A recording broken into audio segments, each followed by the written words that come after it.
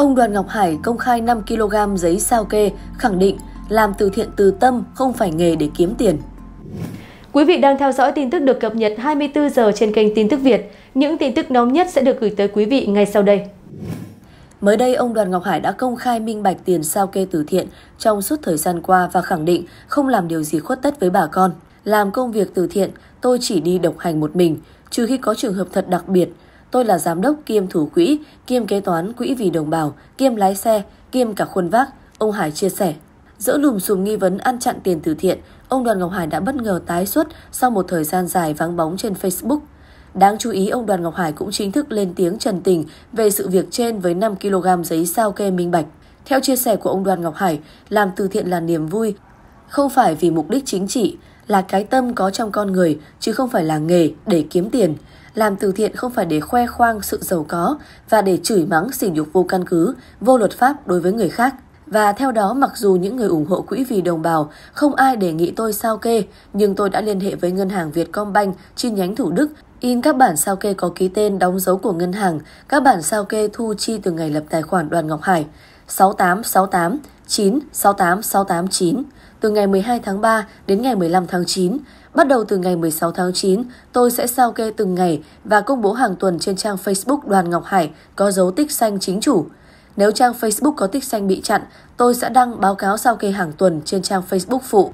5 kg giấy sao kê Đoàn Ngọc Hải 68689 68689 Quỹ vì đồng bào từ ngày 12 tháng 3 đến ngày 15 tháng 9 với hàng ngàn tờ giấy A4 phải xóa che đi số tài khoản của người ủng hộ vì tính bảo mật, nguyên tắc của Facebook và phải chụp hình đưa từng tờ lên trang Facebook của tôi. Mất rất nhiều thời gian, ảnh hưởng rất lớn đến công việc thiện nguyện của tôi, nên tôi sẽ để toàn bộ 5 kg giấy tờ sao kê từ ngày 12 tháng 3 đến ngày 15 tháng 9 tại Ngân hàng Vietcombank, chi nhánh Thủ Đức số 50A đường Đặng Văn Bi, thành phố Thủ Đức, thành phố Hồ Chí Minh để tất cả mọi người đều có thể gặp nhân viên tại Vietcombank chi nhánh Thủ Đức để biết được tất cả các chi tiết thu chi tồn quỹ của quỹ vì đồng bào.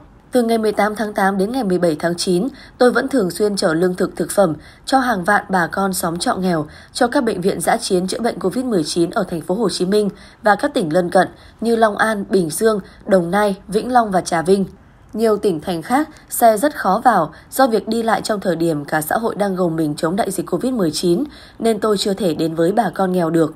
Công việc hàng ngày của tôi, kể cả ngày lễ, thứ bảy và chủ nhật, là ban ngày tôi lái xe cứu thương chở từ 1 đến 3 chuyến lương thực thực phẩm cho các xóm trọ nghèo ở thành phố Hồ Chí Minh và các tỉnh. Buổi tối tôi chở và vác bình oxy đến tận nhà cho những bà con nhiễm nCoV đang bị khó thở thông qua tổng đài của nhóm từ thiện Nhất Tâm vì tôi không đủ sức và thời gian để nghe và trả lời tin nhắn hàng ngàn cuộc điện thoại và cũng vì tôi thường xuyên ôm vô lăng xe cứu thương 51B 50934.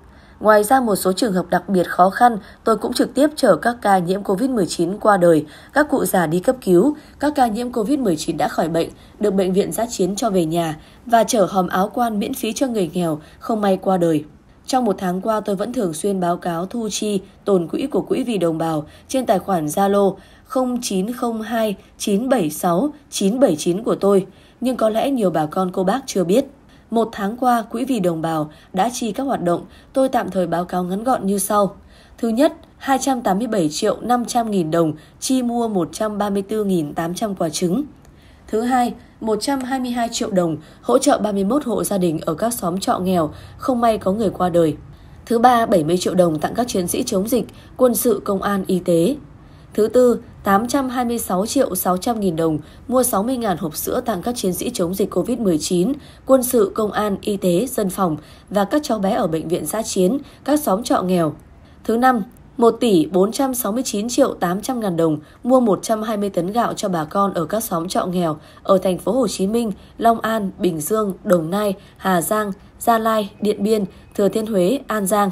Thứ sáu, 216 triệu 500 ngàn đồng mua 150 hòm áo quan để trong sân nhà tôi, ai muốn đến lấy thì lấy, cho bà con nghèo không may qua đời.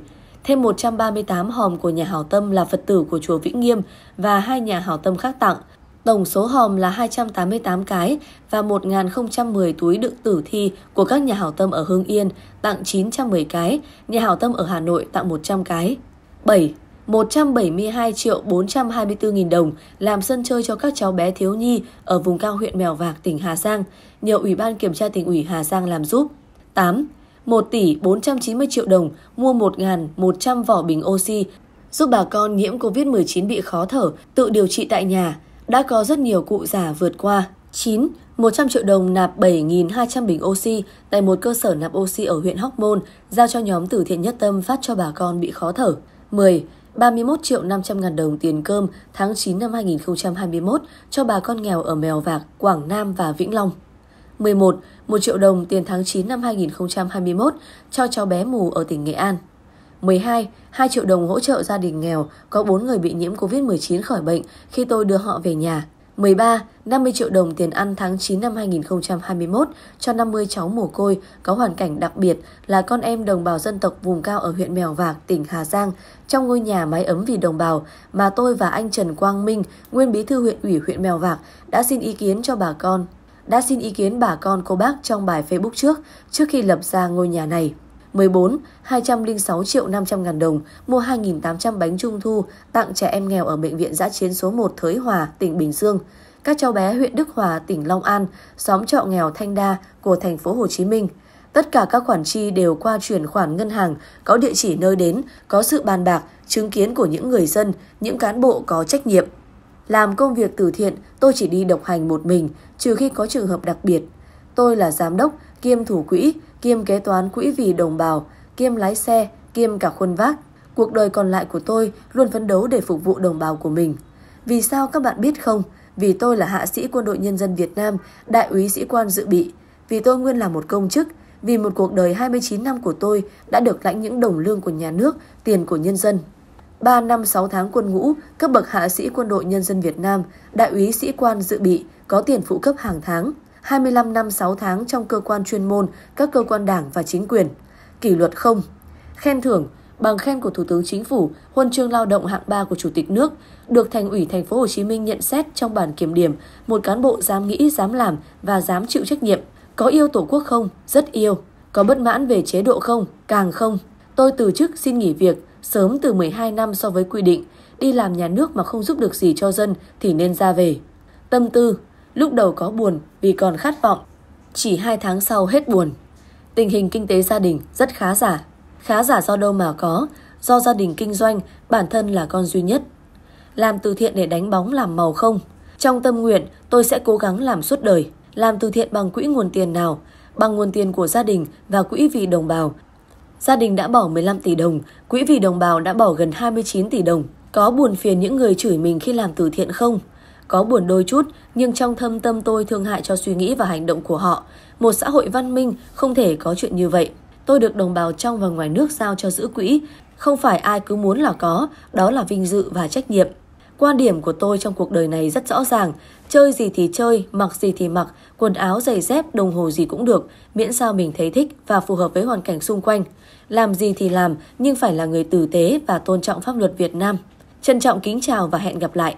Cuối cùng ông Đoàn Ngọc Hải tuyên bố nếu ai phát hiện ra tôi gian dối móc ngoặc để trục lợi, dù là một đồng, nếu ai phát hiện tôi lấy sữa, lấy trứng, lấy khẩu trang mà mọi người gửi trong nhà tôi mang đi bán để lấy tiền bỏ túi riêng thì mọi người cứ cho đăng bài phản ánh lên báo chí chính thống. Nếu có chứng cứ gian lận, đúng, tôi cam kết sẽ ngồi ở giữa chợ Đồng Xuân Hà Nội, giữa chợ Đồng Bà Huế, ở chợ Bến Thành Sài Gòn, mỗi nơi 10 ngày, mỗi ngày 8 tiếng đồng hồ. Trước ngực tôi đeo bảng, tôi là kẻ ăn cắp tiền của quỹ vì đồng bào. Hiện tại tâm thư của ông Đoàn Ngọc Hải vẫn thu hút sự chú ý quan tâm đặc biệt của khán giả và những người hâm mộ.